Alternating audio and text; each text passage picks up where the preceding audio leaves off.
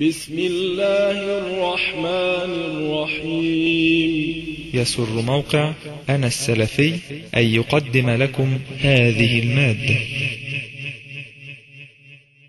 إن الحمد لله نحمده ونستعينه ونستغفره ونعوذ بالله تعالى من شرور أنفسنا ومن سيئات أعمالنا. إنه من يهده الله فلا مضل له ومن يضلل فلا هادي له. وأشهد أن لا إله إلا الله وأشهد أن محمدا عبده ورسوله صلى الله عليه وعلى آله وصحبه وسلم. ثم أما بعد. يقول الإمام الطحاوي رحمه الله ولا نكفر أحدا من أهل القبلة بذنب ما لم يستحل. يقول الشيخ البراك عبارة المؤلف تقتضي أن أهل السنة لا يكفرون أحدا من أهل القبلة بأي ذنب. والذنوب نوعان ده استدراك على الإمام الطحاوي في أن عبارته هنا لم تكن دقيقة. وبننبه دائما في المواطن في مثل هذه المواطن أن بعض الناس يكون من متصيدي الأخطاء. فقد تكون هناك عبارة لعالم أو لداعي أو لغير ذلك غير دقيقة وفرق كبير بين أن يكون العبارة غير دقيقة وبين أن تقول أنه قصد منها كذا وكذا وكذا. عم تجد درجة كبيرة من درجات الإصرار على تخطئة كل أحد بما ليس فيه. يعني يبقى العبارة نعم تحتمل معنى ما لكن قائل العبارة معلوم عنه يقينا أنه يقول بخلاف هذا الكلام وبريء من هذه التهمة فيبقى أن ننبهه أن العبارة محتملة. وبحسب درجة الاحتمال أيضا ليس مجرد أنها محتملة يعني بنسبة يعني تتفاوت درجة الاستدراك. وحدته. وهنا شفنا أن الشيخ البراك حفظه الله استدرك على الطحاوي رحمه الله عدة مرات وهذا لم يمنع أنه هو يدرس الكتاب على اعتبار أنه عقيدة متن في العقيدة ذائع الصيت ومنتشر بين طلبة العلم ويقرر عقيدة السلف وإن كان في مواطن لا العبارة دي كان أجود أن يقولها كده. ما يقولش لا ده هو يقصد منها كذا إلى غير ذلك مما يصنعه البعض أحيانا مع عبارات محتملة لأي أحد. وربما لا يكون هناك احتمال أصلا ولكن إصرار منه على أنه يخطئ العلماء أو يعني يكون يرد على المشهورين فيصير مشهورا. أو غير ذلك مما يعني قد يعني يغلب على الظن أنه ليس فيه إلا حب الظهور أو الشهرة أو حب تصيد الأخطاء أو غير ذلك من الأمراض إحنا الآن أمام عبارة الإمام الطحاوي العبارة غير دقيقة فعلا ليه؟ لأن كلمة ذنب تشمل الكفر ولكن إحنا لنا أن نتخيل ابتداء يعني الإمام الطحاوي قال العبارة دي كده ليه؟ لأنه يغلب في عند الإطلاق لما تقول كلمة ذنب أي ما دون الكفر. فكأن في قيد ضمني. وده معروف يعني مفيش إنسان لما بيجي يتكلم يقوم يحط كل القيود اللي في الدنيا. ده يبقى الكلام عيي جدا. لا يعني في كل الكلام لابد إن يبقى فيه بعض القيود معروفة من العرف أو من الواقع أو من السياق. ويجي في حتة نقول لا ده دي بقى ما ينفعش نعول على ذكاء القارئ أو السامع لأن الموضوع فيه شبهة ولأن الموضوع فيه فتنة. لكن عموما في كل الكلام هتلاقي إن لابد إن يحصل درجة من درجات التعويل على قيود واقعية تكون مستعملة. في باب الإيمان والكفر ذاته العلماء يقولوا إن مرتكب الكبيرة فاسق وليس بكافر.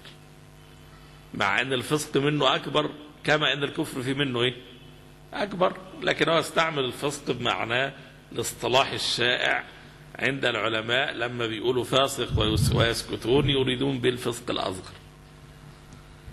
فهو استعمل نفس الأسلوب تقريبا ولكن في مسألة أخرى فيها أو يعني فيها درجة من درجات الشبهة إن كلمة ذنب في اصطلاحه عندما تطلق يراد بها ما دون الكفر.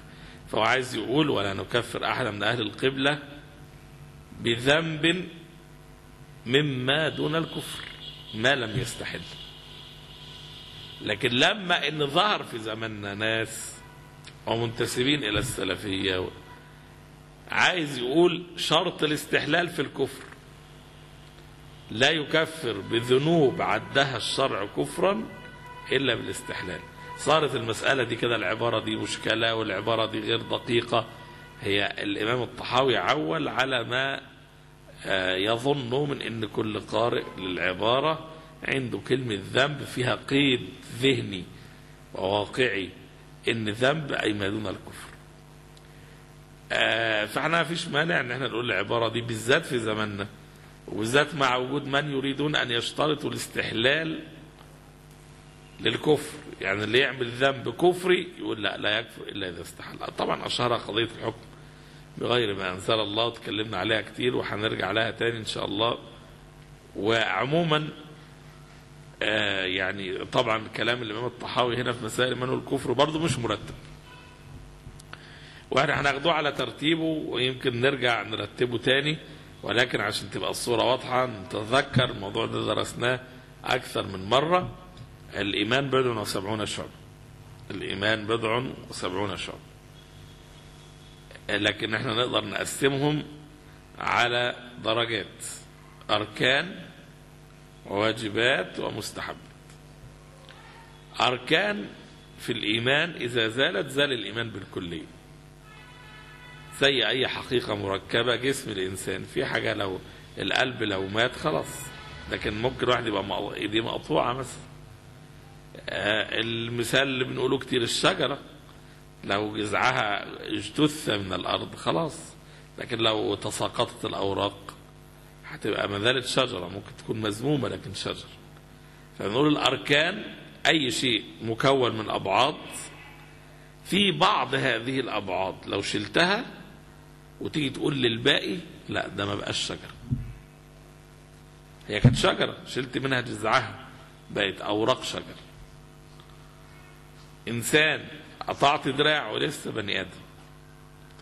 لكن لو قطعت راسه لا ده جثة ميتة. فالشيء المكون من أبعاد بعض هذه الأبعاد إذا زالت زال الاسم عن المجموع. دي بنسميها أركان. في أبعاد تانية لو شلتها مع بقاء الأولانية ما خلاص إحنا دلوقتي يبقى ال- المجموع يستحق الاسم ولكن على نقص فيه. يبقى شجرة متساقطة الأوراق هي من جهة شجرة شجرة وكائن حي وعايش عايش. شجرة ثابتة ولكن ملهاش أوراق. تقول لما تيجي تتكلم من حيث الأصل عندك كام شجرة في البستان؟ تقول عشرة.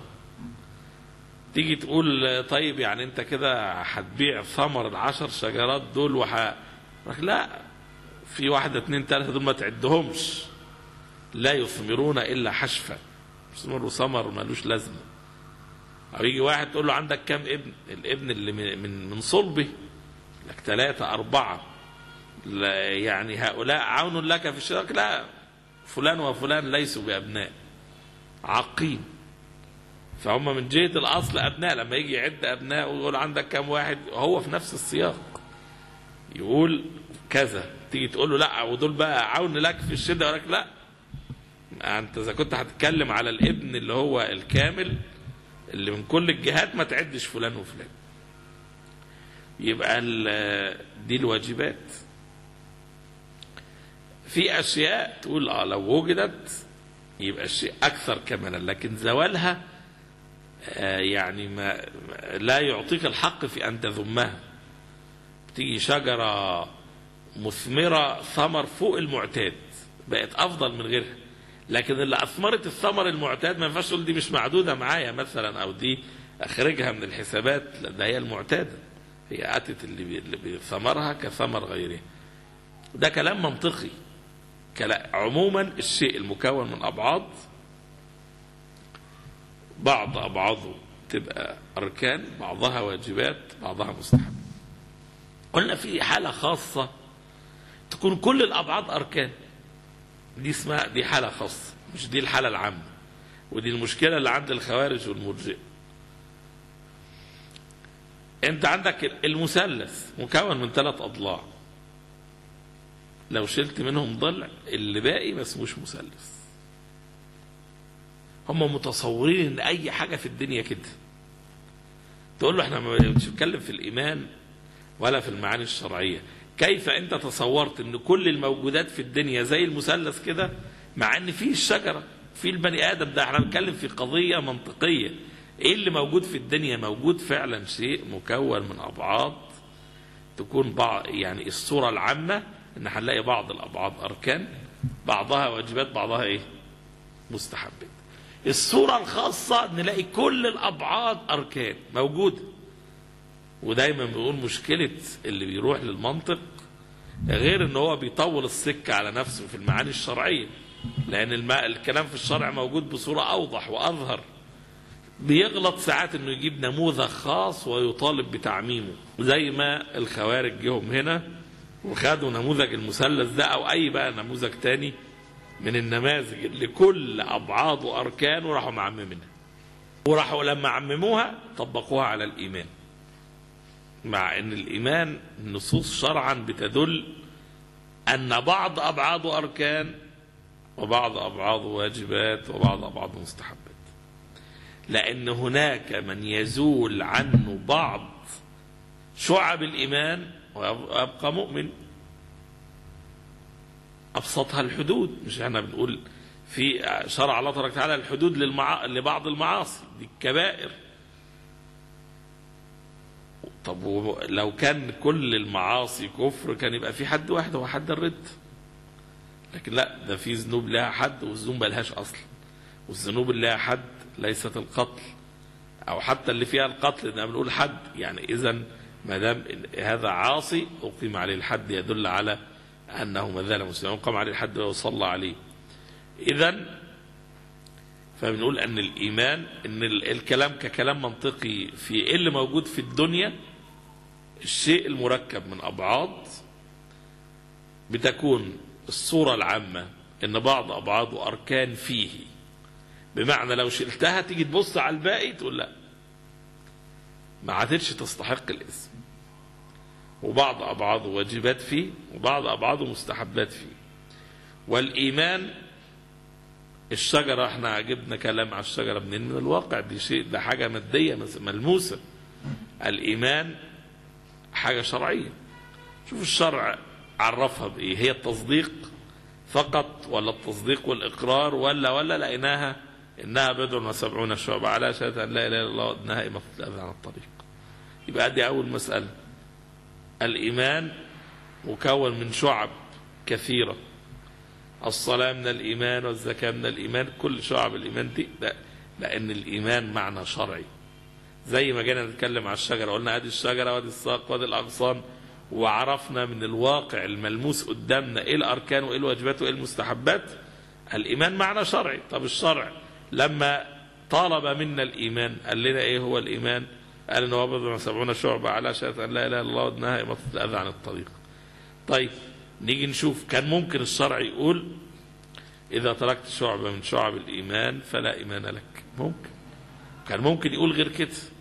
نشوف النصوص نلاقي زي ما قلنا مرتكب الكبيرة بيعاقب بعقوبة دون عقوبة الردة. يبقى إذا في شعب للإيمان تزول ولا يزول الإيمان بالكلية. يبقى الإيمان بعض بعض شعبه أركان فيه وبعض شعبه واجبات فيه وبعض شعبه مستحبات فيه. طيب نتكلم بقى على إيه هي الأركان؟ ما إحنا كده هندخل في باب ال ال ال باب الردة. إزاي الإنسان يدخل الإيمان؟ وحتى تصور أركان الإيمان مهم في معرفة ما يدخل به الكافر في الإسلام ومعرفة ما يرتد به المسلم. نيجي نتكلم نقول اللي معاه الأركان اللي معاه الأركان هيبقى مسلم. ممكن يكون أو مؤمن ممكن يكون ناقص الإيمان أو كامل الإيمان حسب الواجبات والمستحبات من ورائه.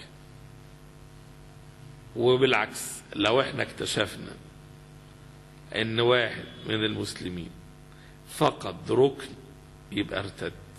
بس. بس إحنا عندنا مشكلة. مثال الشجرة ده برضو مناسب لها. لما جينا اتكلمنا على إيه إيه الأبعاد أبعاد الشجرة التي تعتبر أصلا فيها. قلنا الجذر والساق طب انت في بستان وشايف الشجرة واقفة على ساقها وفيها أوراقها أو ما فيهاش لأن إحنا بنتكلم دلوقتي على الايه اللي انت هتقول إن دي ماتت أو ما ماتتش. فما دام الساق واقف هتقول دي شجرة. وانت واقف جا شوية ريح ان انكفأت الشجرة وجدنا الجذر متعفن وميت. فأنت وقت ما كنت بتقول عليها إنها حية وإنها شجرة كنت بتقول والله أصل أنا هي أركان الشجرة الجذر والساق فما دام الظاهر الجزء الظاهر من الأركان سليم بفترض سلامة الباطن. لما يبان إن الجزء الباطن أو الظاهر حاجة منهم مش سليمة تبقى الشجرة دي ماتت. يبقى أنت هتحكم عليها بأنها ماتت لما يبان لك الجذر أو لما الفساد يطلع لغاية الساق. فنفس القضية هنا. إحنا بنقول ال- ال- أركان الإيمان قول القلب وقول اللسان وأصل أعمال القلوب. التصديق وبقية أعمال القلوب. بس التصديق ده عمل قلبي له أهمية عالية إن ده بداية الإيمان. كان قلنا إحنا ممكن نتصور برضو الإيمان بيحصل إزاي؟ بالمعرفة أول حاجة. ما في إنسان لم يعرف الحق. فلا فلن يؤمن به. يبقى ده مش مؤمن. طب جهله ده ناشئ عن إيه؟ ده موضوع تاني. اللي ما دخلش في الإسلام أصلا هيبقى كافر حتى ولو لم تبلغه دعوة الرسل بس هيبقى كافر إيه؟ معذور. اللي بلغته دعوة الإسلام وأعرض عنها ما سمعهاش ما رضاش يسمعها هيبقى انتفى عنه الإيمان لأنه لم يعرفه أصلا. وهيبقى كافر بس إيه؟ مش معذور. طيب وصلته دعوة الإسلام وعرفها كده بقى مؤمن؟ لسه. ده كده زي اللي عنده جذر الشجرة من غير ساقها يعني برضه انت ممكن يكون معاك جزء من الأركان ما ينفعش لازم الأركان مجتمعة فيبقى حصلت عنده المعرفة. طب بعد المعرفة إما أن يصدق وإما أن يكذب. يبقى على طول اللي بيلي المعرفة الإيه؟ لو هو ال- ال- ال- المعرفة ضدها الجهل. فالمؤمن لازم يعرف حقيقة الإيمان أولا يعرف مجمل المعنى الذي يدعو إليه الإيمان. وبعد ما يعرفوا ما في ناس عرفوا وكذبوا. قالوا لا الكلام ده خطأ. يبقى أول مرحلة في الإيمان إيه؟ التصديق. فإن كذب صار هذا كافر كفر تك- تكذيب. طب وإن صدق؟ لسه بقاش مؤمن. ليه؟ هو الله تبارك وتعالى يحكي عن فرعون. وما لا يقول وجحدوا بها واستيقنتها أنفسهم. يعني دول عندهم المعرفة والتصديق وما بقوش مؤمنين. كان فاضل إيه؟ لو ضد الجحود وجحدوا بها واستيق... يعني هم حصل عندهم المعرفة والتصديق الجازم اليقيني إن دي صح. ولكن بلا انقياد. يبقى لازم هيحصل عنده معرفة وإلا هيبقى كافر كفر جهل. ثم تصديق وإلا يبقى كافر كفر تكذيب. ثم انقياد وإلا يبقى كافر كفر إعراض. ثم قبول وإلا يبقى كافر كفر استكبار. لأن ممكن يجي يقول إيه؟ يعرف الإيمان يصدقه ما يبقاش عنده مانع أن يقر به وأن يقبل لا إله إلا الله. أن أن ين... ولكنه قد يكون عنده مانع من الانقياد لشرع الله. فيبقى كده لو حصل كده يحصل لديه الإيمان مع سائر أعمال القلوب ولكن دي أهم أعمال القلوب. هتلاقي أهم واحد فيها على إطلاق التصديق عشان كده بيقولوا عليه بيخصوه بأنه يسموه هو قول القلب. لا سيما أنه في اللغة يتضمن أن التصديق في اللغة يتضمن سائر أعمال القلوب. كما في الحديث آه، والفرج يصدق هذا أو يكذبه. كتب على ابن آدم حظه من الزنا. وفي آخره قال والفرج يصدق هذا أو يكذبه فدل هذا على أن التصديق في اللغة قول وعمل كما أن الإيمان قول وإيه؟ وعمل. لكن مش هي القضية هنا؟ إن إحنا عندنا التصديق بنسميه قول القلب يبقى الأركان قول القلب وقول اللسان وأصل أعمال القلوب. لأن هتجد دايما من قال لا إله إلا الله صدقا من قلبه من قال لا إله إلا الله مخلصا بها قلبه من قال لا إله إلا الله مستيقنا بها قلبه كل دي شروط وضعت لدخول الجنة وإن الإنسان ينتفع بلا إله إلا الله وجود هذه الأعمال القلبية. دي أركان الإيمان. طب لما يجي واحد عايز يسلم زي أنت ماشي في بستان بتشوف الشجر السليم والشجر الميت بتقول أنا أكتفي بأن الشجرة واقفة وساقها موجودة ومستقرة في الأرض تبقى دي كده شجرة حية. مش معقول بقى اللي عايز يشتري شجر يحفر عليه موته عشان عشان يشوف جذره. مع إن ده في الدنيا في الشجر يعني أهو هتوصل له بصورة أو بأخرى لكن القلوب العباد مش ممكن توصل لها. فأنت هنا في الدخول في الإسلام بنكتفي بالنطق بالشهادتين اللي هو الجزء الظاهر من أركان الإيمان. في الخروج ونقول بقى أصل الخروج بيبان. ممكن واحد يجي يقول أنه لم يعد يشهد أن لا إله إلا الله محمد رسول الله. وفي تاني واحد يبقى زي الشجرة اللي اتقطمت وبان لنا جذرها يقوم يسب الله تبارك وتعالى نعوذ بالله. يسب النبي صلى الله عليه وسلم يطعن في الدين ينكر معلوم من الدين بالضرورة يستهزئ بشيء من الشرع. كل دي تشبه ان الشجرة تنقطم ساقها ويبان إن جذرها فاسد. يبان لك الجذر اللي كان مستتر وانت افترضت سلامته يبان لك إنه فاسد من إمتى؟ مش مشكلة بقى. شرعا اللي بيبان لنا كفره بنفترض إن الفساد طرأ عليه دلوقتي. لأن إحنا ما نقدرش نرجع بأثر رجعي. كان مسلم ومتزوج من مسلمة ويؤكل المسلمين ويعاشرهم. مش هنقدر نرجع بظهرنا. الله تبارك وتعالى أعلم. لكن أنت بتفترض أن الفساد طرأ عليه ساعة ما بان لك. زي ما انت كنت فاكر ان دي شجرة اتقطمت. شفت ان جذرها فاسد. يبقى ده ده تاريخ ان انت حكمت عليها بالموت أو بالفساد. مش قبل كده. فدوت ده خلاصة الباب في هذه المسألة. فصار هنا في أفعال لا تقع. أفعال وأقوال معينة لا تقع إلا كفرا. فدي سميناها أسباب الرد أو ال ال ما يخرج به المرء المسلم من دين الله أو الذنوب المكفرة. لا تقع إلا ردة كالاستهزاء. استهزئ بالله عز وجل أو برسوله صلى الله عليه وسلم. هذه الذنوب لا تقع إلا رد فدي اللي بنسميها إن دي كفر. نعرفها منين؟ الشرع بيسميها كفر.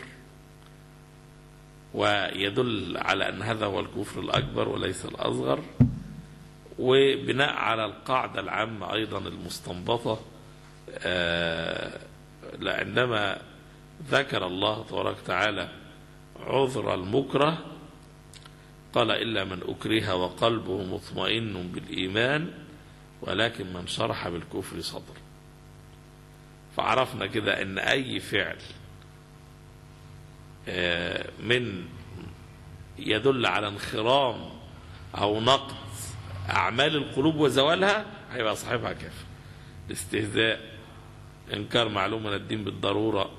بخلاف الأمور التي تنشأ التي تصدر من المؤمن ضعيف الإيمان زي المعاصي اللي لها شهوات الشهوة تحركه ويبقى إيمانه ضعيف ما يقدرش يقاوم الشهوة فيبقى هنا ده إيمانه ضعيف. لكن ال- الاستهزاء والطعن في الدين وإنكار معلومة الدين بالضرورة وكل هذا لا يكون إلا عن زوال إما التصديق وإما الانقياد وإما المحبة وإما الخوف وإما غيرها من أعمال القلوب. يبقى إحنا عندنا طائفة من الذنوب تميزت بأنها ذنوب مكفرة. وطائفة أخرى ليست كذلك. والضابط أن الذنوب التي تنشأ من انخرام الباطن ذنوب مكفرة والتي لا تنشأ من انخرام الباطن ذنوب غير مكفرة خد بالك برضو العبارة دي عبارة تحتاج إنها يتوقف عندها كتير جدا. لأن البعض بيظن تبقى أنت بتقول انخرام الباطن. هو يصر انك انت بتقول التكذيب. ويقول ده كلام المرجئة في فرق بين انخرام الباطن اللي يشمل التكذيب يشمل الاستكبار يشمل الاستهزاء يشمل صور كتيرة جدا وبين كلمة التكذيب. في المقابل هو تقول له إيه الذنوب المكفرة عندك؟ ما تلاقيش قاعدة. فيبقى وارد جدا إن حد يخلط ويدخل ذنب غير مكفر في ذنب. مكفر أو يعده مكفرا القاعدة كده إنه آه، آه، الذنوب التي تدل دلالة قاطعة على انخرام الباطن سواء كان دي قول أو فعل. بس العبرة هنا إنها إيه؟ تدل دلالة قاطعة على انخرام الباطن دي ذنوب مكفرة. طب الذنوب الغير مكفرة كل الذنوب فيما وراء ذلك غير مكفره إلا أن يستحلها. شوف كلمة إلا أن يستحلها هنا بقى لها معنى. لأن الذنب نفسه مش مكفر. والذنب نفسه ما فيهوش انخرام الباطن. فلو إن- انضم مع انخرام الباطن وهو الاستحلال. الاستحلال نوع من أنواع انخرام الباطن. هيكفر حينئذ. يبقى الذنوب التي ليست كفرا قد تكون مكفرة وقد لا تكون. هي من حيث الأصل من حيث الأصل غير مكفر. ولكن إذا انضم إليها الاستحلال صارت مكفرة وإلا بقيت على أنها غير مكفرة. طب واحد يقول لك طب ماشي. نقول الاستهزاء بالدين لا يكفر صاحبه إلا إذا استحل. نقول له أنت كده أوهمت أن الاستهزاء نوعين نوع كفري ونوع إيه؟ غير كفري. مع أن الاستهزاء لابد أن يكون معاه انخرام الباطن. آه ممكن ما يبقاش معاه استحلال بس هو الاستهزاء في حد ذاته أفحش من الاستحلال. وكلمة الاستحلال عند السلف تطلق ويراد بها انخرام الباطن يعني بدأوا يقولوا بقت تبقى تعني كل صور الانخرام لكن لما يجي يقول إنه المستهزئ لا يكفر إلا إذا استحل يبقى كده أوهم باطلا. نقول له نحاول برضو ن- نضيق دائرة الخلاف. فبنسأله هل يتصور عندك مستهزئ غير مستحل؟ فإن قال لا قلنا له الخلاف لفظي وعبارتك محتاجة لتصويب. لأن أنت لما قلت لا يكفر إلا إذا استحل أوهمت أن هناك مستهزئ غير مستحل. لو قال نعم يمكن أن يوجد مستهزئ غير مستحل. فساعتها نقول له طب بما كفرت المستحل إذا كان كلمة الاستحلال مش موجودة في القرآن وتركت المستهزئ مع إن النص على كفره موجود في الإيه؟ في القرآن. في لا تعتذروا قد كفرتم بعد إيمانكم. يبقى اذا نقول لا نقول له الصواب الخلاف هنا حقيقي. نقول لا أنت توهمت إن الاستهزاء كسائر الذنوب لا يكفر صاحبه إلا إذا استحل. والأمر ليس كذلك لأن الاستهزاء منطو على نوع من الاستحلال أو لو شئت العبارة الأدق تقول أن الاستحلال منطو على خرم للباطن نوع من نقد عمل القلب وهو مثله مثل الاستحلال مثل غيره من أنواع التكذيب أو الإعراض أو الإباء. كل هذا يكفر به صاحب. ودي نفس القضية اللي إحنا بنقولها في قضية تبديل الشرائع. في قضية التشريع العام. إن حد يجيب شرع عام يلزم به الناس أو يدعو اليه كتشريع عام يطبق على الناس وبعدين الناس يقولوا لا يكفر إلا إذا استحل. نقول المعارضة والمضاهاه والتفضيل لغير شرع الله على شرعه أو على أحسن الفروض المساواة ما هوش ممكن يعني. أو تصور أن الشرع غير لازم. يلا. دي فترة الشيخ محمد بن إبراهيم. قلنا قبل كده فترة الشيخ محمد بن إبراهيم اللي ذكر فيها الكلام على الحكم غير ما أنزله قال هم ست أنواع. كفر أكبر ونوع كفر أصغر. لا إحنا ممكن نعيد صياغتها. ونقول هو نوع أكبر ونوع أصغر. تبديل الشرع. بحيث إن اللي يسأل عنه ما ترون في الزاني يقول حرية شخصية. ده اسمه تبديل. حتى لو هو مش قاضي ولا في المقابل لا واحد الحكم الشرع في الزنا أنه جريمة عقوبتها الرجم إن كان محصنا والجلد إن كان غير محصن. طب نقول له تعالى اقضي في القضية دي هو قاضي ويجي له ناس زنا ياخد رشوة ويقولوا الشهود لم تثبت الجريمة. ويعمل الكلام ده كل يوم. ده شرك أصغر. لأنه هذا لم يناقض الشرع ولم يضاهي الشرع. تعالى الثاني بقى المبدل. الستة اللي الشيخ محمد إبراهيم قالهم الأربعة الأولانيين بيحاول يقول لك تعال نشوف المبدل ده لما بدل. هنلاقيه لا يخرج عن واحد من أربعة. وفي كلا الأحوال كفر. إما هو جه سألناه عن الزنا هل حرية شخصية. نقول له طب وحكم الشرع ليس لله حكم في المسألة. يبقى ده جحد حكم الله. وهذا كفر. طيب قال لا ممكن حاجة تانية. يقول آه الزنا حرية شخصية. تقول له وحكم الله في المسألة لكن الدراسات الحديثة أثبتت ومواثيق حقوق الإنسان نصت. وكيف نرجع لشريعة شريعة رجعية؟ يبقى يقر أن هناك حكم في الشريعة. ولكن يرى أن هذا الحكم المبدل أفضل منه. وهذا شرك ظاهر. ده يجعل حكم غير الله أفضل من حكم. طب واحد تاني يقول لك والله كل كل يعني في تحريم الزنا ومنعه له فوائد وله سلبيات وإباحته له فوائد وله سلبيات والناس على ما يتفقون. إذا هو يرى أن المسلم غير ملزم. مش إن واحد مسلم استحوذ عليه الشيطان فقضى شهوته في حرام مع إن ده مجرم وعاصي بس فرق كبير جدا بينه وبين واحد بيقرر هذا المبدأ إن الناس زي ما يتراضوا مع إنه مقر ان الشرع في تحريم للزنا وعقوبة للزنا. ولكن يرى إنه ال- الأمور متساوية شرع الله مثل شرع غيره.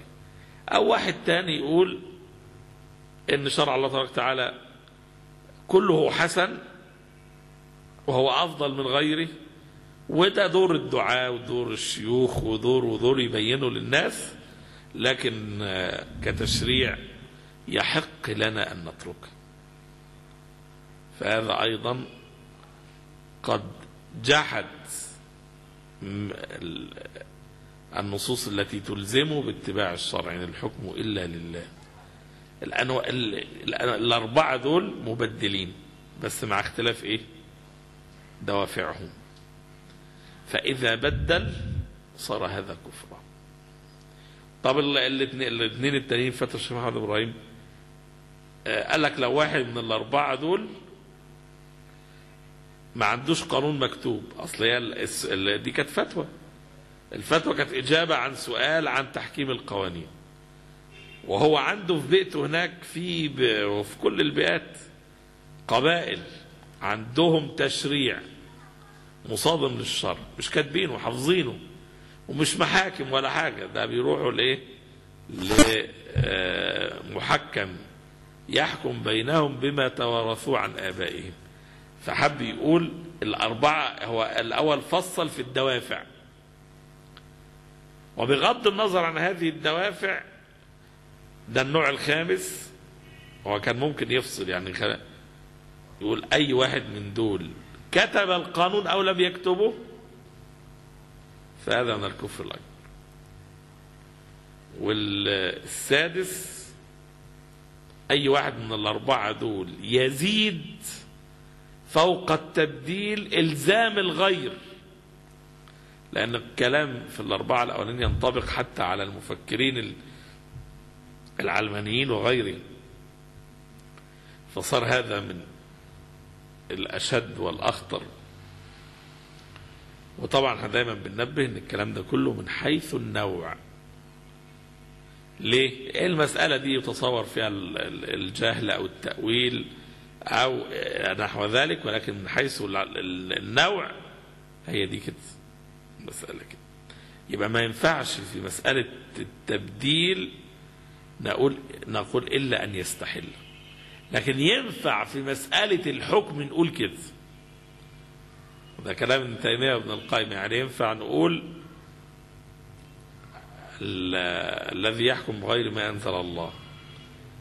إن استحل ذلك كفر أو إن استحل ذلك صار هذا كفرا أكبر وإلا صار كفر أصغر. ويبقى أول وأبرز صورة من صور الاستحلال هو الإيه؟ التبديل. لكن اللي يجي ياخدها ويحملها على التبديل هيبقى كلام متناقض. هيبقى كلام متناقض. فهنا الكلام آه إن الإمام الطحاوي لما ذكر لا نكفر أحدا من أهل القبلة بذنب ما لم يستحله بيعني الذنوب التي هي دون الكفر. يعني إحنا ذكرنا التعليق السريع ده لأنه ال- ال- الإمام الطحاوي بيتكلم في كذا مسألة في مسائل الايمان والكفر على هذا النحو ويعني قد يأتي تفصيل لها إن شاء الله تعالى يقول آه، آه، الشيخ البراك حفظه الله. وقوله ولا نكفر أحدا من أهل القبلة بذنب ما لم يستحل. عبارة المؤلف تقتضي أن أهل السنة لا يكفرون أحدا من أهل القبلة بأي ذنب. والذنوب نوعان ذنوب من أنواع الردة كالشرك وما في درجته وهي أعظم الذنوب والذنوب دون الشرك لا توجب الرد. وإذا أخذت عبارة المؤلف على إطلاقها فظاهرها أن كل من كان مسلما فإنه لا يكفر بأي ذنب. ارتكب حتى لو كان فيه شرك.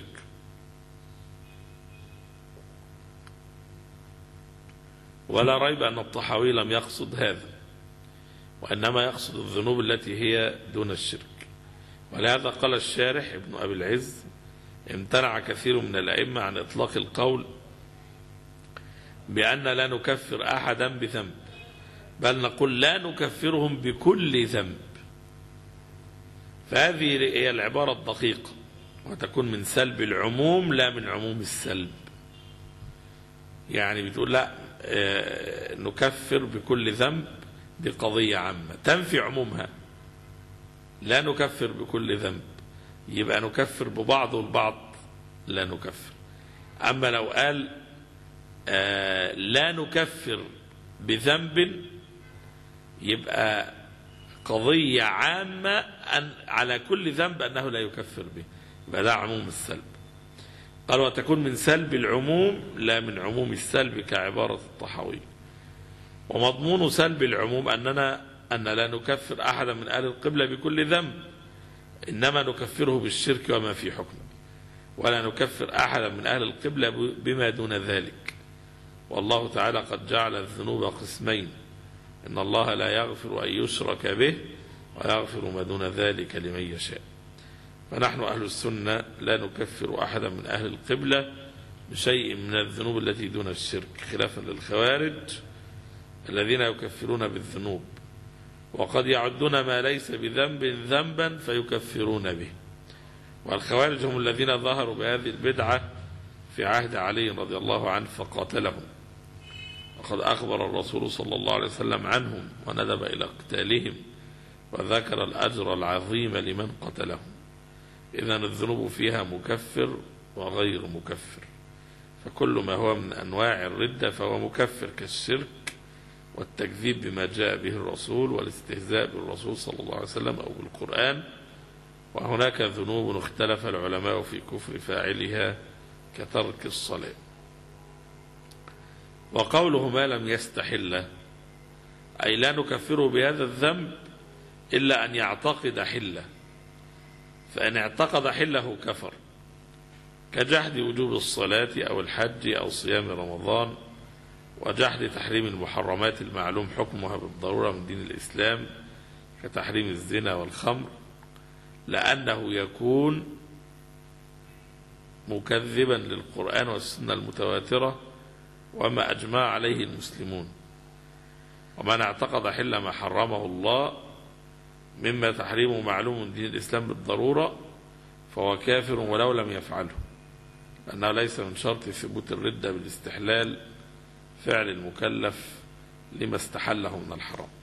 يبقى لو واحد بيدعو إلى إباحة الزنا ولم يزني يكفر بهذه الدعوة وإن لم يفعل. إذا الاستحلال استحلال الذنوب كفر من فاعلها ومن غير فاعلها. ولكن يعني كانت هذه العبارة لأن كثير من فاعلي الذنوب قد يطمس على بصيرتهم بعد فترة فيستحسنها ويطالب بإباحتها فيكون هذا سببا لوقوعه في الكفر والعياذ بالله سبحانك اللهم وبحمدك نشهد أن لا إله إلا أنت.